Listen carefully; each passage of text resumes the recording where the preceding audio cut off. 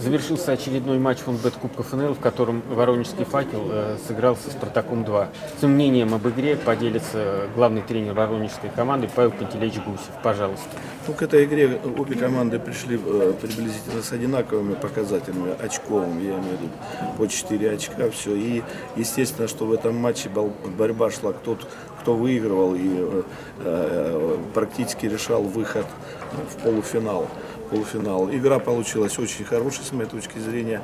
Много борьбы было на, на всех участках поля, э, не было хамства, самое главное, э, в этой игре.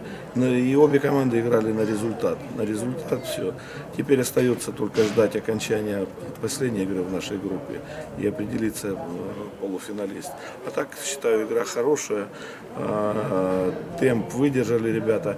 Ну, мы, естественно, что где-то в подсознании у ребят, может быть, немножко сидело то, что по большому счету, допустим, нас по отношению к Спартаку устраивала ничья, но есть еще одна игра, да, и так сыграли строго, практически, ну, каких-то голевых моментов ни у наших, ни у их ворот, которые тянули на взятие ворот, не было. Подходы были у них, и у нас все, но чтобы забить все, и считаю закономерно ничья и то, что и нулевая где-то закономерно, потому что минимум созданных моментов. Э, в этом сезоне ваша команда провела только третий матч. Чувствуете прогресс подготовки команды к возобновлению сезона? Ну, у нас, эм, я скажу, что до этого мы не проводили игр.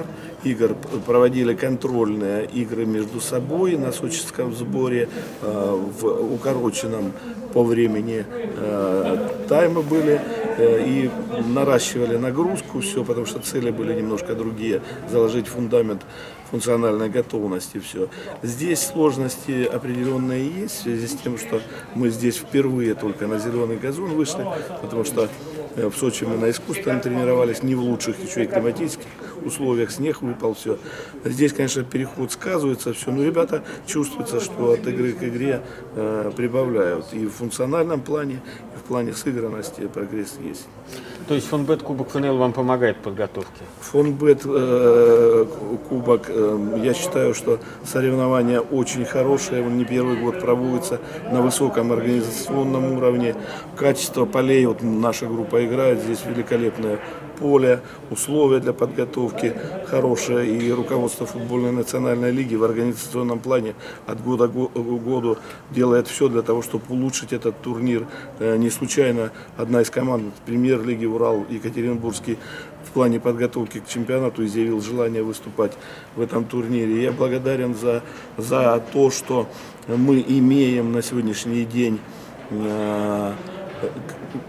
э, пять э, гарантированных спаррингов хорошего уровня, такого сложно где-то э, на предсезонных сборах всегда ищешь, с кем играть, кого-то сроки какие-то не устраивают.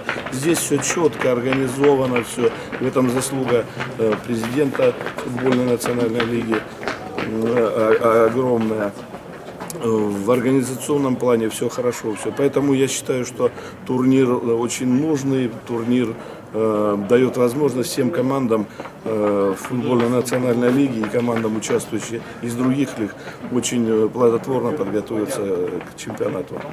И последний вопрос. Ваша команда понесла определенные потери. Насколько они существенны и как вы будете восполнять потери в составе? Ну, потери у нас связаны с тем, что в средней линии у нас э, Альшин ушел, пригласили его в ТОС, Намурнин получил приглашение в Тамбов. В Тамбов.